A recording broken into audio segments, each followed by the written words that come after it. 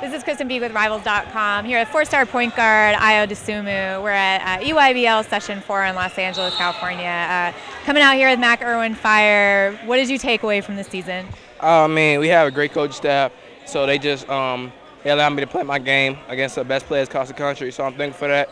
Um, we didn't come out and had a season that we wanted to because we didn't qualify for Peach Jam. But at the end of the day, it's about getting better each and every day and just playing hard, playing together, knowing, getting to know more people. I know you were a state champion. What was the biggest difference between the competition between your high school season and then out here on the EYBL? Uh, I mean, high school season, you got maybe, uh, maybe uh, one, maybe if, if one maybe um, high major player on the roster, and here at EYBL it's 10. The whole roster could be Division One players, so the competition level is, is no comparison. And with your game specifically, what have you been working on this spring and heading into the summer? I've been working on just shooting out the drill with more jump shots and transition, um, pulling up um, and shooting jump shots.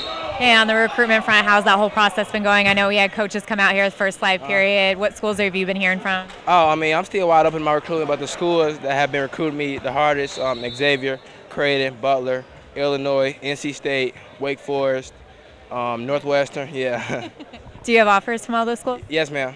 Okay, and when uh, when are you going to cut a list? I'm not sure. Um, maybe when the end of the summer is over with, I talk to my family, my coaches, staff, and they feel like they have um, an idea of the schools that's in my best interest. That's when I cut my list. When you look at a school like Illinois, I know you're from Chicago, and they have a new coach. Uh, do you look to develop a new relationship with that coach, like Brad Underwood coming in? Have you talked to him? I mean, yeah, that's one. Every time I get a scholarship from a school recruiting me, I just tell them that um, the number one the number one reason to get me coming to your school is just building a relationship with the coach staff because I think that's number one. Um, a lot of other stuff is it matters, but at the end of the day, if you don't have a good relationship with your coach staff and had just had the confidence to come out and play, you won't be able to play to your potential.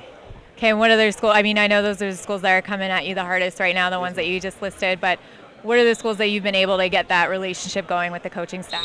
Oh, I'm Xavier, um, Creighton, Northwestern, um, those three. I have a good relationship with coach staff, State, Butler also, Coach Holtmann. Um, those are just the schools that I have a relationship because they've been recruiting me the longest. Any schools you want to get to during the summer? Oh, um, maybe um, NC State, Wake Forest, um, those new schools um, that offer me, Georgia Tech. Okay. What are you looking for on those visits?